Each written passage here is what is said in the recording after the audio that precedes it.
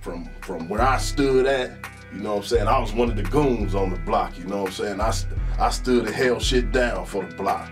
You know what I'm saying? It's a lot of goons over there. You know what I'm saying? It was it was the land of the gorillas once you stepped across that line, you know what I'm saying? Every nigga over there, 200 and better, you know? So it was the land of the gorillas. There was some real knockout artists, you know what I'm saying? Motherfucker took them wounds and shit, you know? Yeah. But other than that, man, you know, you'll see, like every set, you know what I'm saying, we took our losses, you know what I'm saying? There's some good niggas, you know what I'm saying? JoJo, Squirt, you know what I'm saying? Kaboo, you know what I'm saying? We took a lot of losses around here, man. You know, some good motherfuckers, you know, them just a few names right there. But uh, you know what I'm saying, we lost motherfuckers to the streets and to the penitentiary, you know.